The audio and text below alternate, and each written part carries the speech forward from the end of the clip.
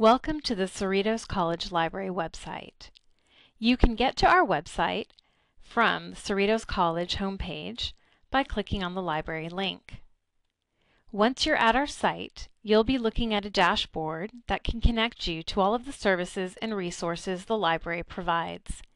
This includes our library catalog, where you can look for books, ebooks, and DVDs, research databases, which contain articles, research guides that will help you find the best resources for your project, and citation guides that will help you cite your sources and format your bibliographies. You'll also find how to contact the librarian for help on this page.